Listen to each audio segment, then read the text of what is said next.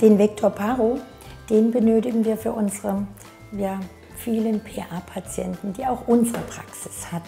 Ja, und wir wissen einfach, dass sich selbst bei einer guten, erfolgreichen PA-Therapie die Mikroorganismen sehr schnell wieder subgingival bilden und ähm, eine Rekolonisation stattfindet.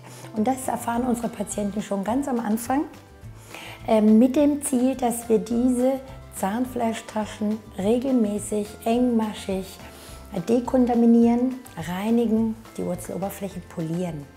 Das passiert ein paar Mal im Jahr, engmaschig, aber eben sehr schonend. Diese Behandlung ähm, muss einfach angenehm sein, damit der Patient wirklich auch regelmäßig kommt. Das ist ganz wichtig. Ja?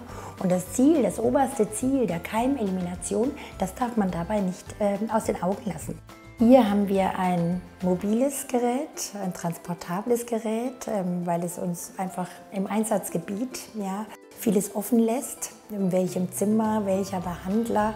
Ähm, wir haben uns entschieden ähm, für ein Gerät, mit dem wir EHT oder PZR, bei uns heißt es EHT, bei dem wir die Erhaltungstherapien äh, wahrnehmen können, die supragingivale Reinigung, aber auch beim PA-Patient ähm, die UPT-Sitzung. Ja? Also ich kann mit einem Gerät wieder unterschiedliche Zielgruppen bedienen.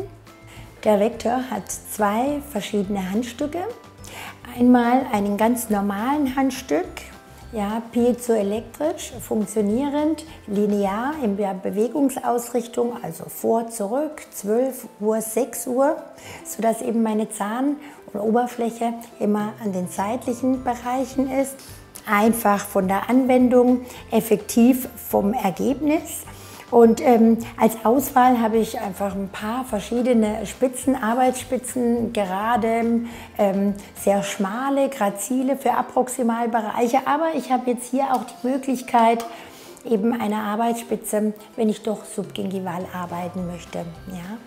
Ansonsten für unsere UPT-Patienten, also unsere PA-Patienten, die im Recall zur Erhaltungstherapie kommen, ähm, benutzen wir den Vector Paro, ein anderes Handstück, was auch piezoelektrisch funktioniert. Durch die ähm, Schwingungsumlenkung habe ich eben eine Arbeitsspitze, die nicht mehr vor zurück geht, ja, sondern nach oben und nach unten. Ja. Und ähm, damit kann ich sie so ansetzen, so anwenden, wie wenn ich einen PA-Scaler in der Hand hätte. Ja.